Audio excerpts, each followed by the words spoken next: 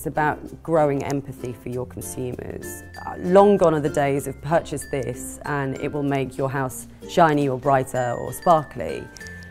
In these sorts of markets, we need to be thinking about creating value for people. We need to be thinking about making people's lives better. And you can only do that through a certain empathy that you develop for your consumers.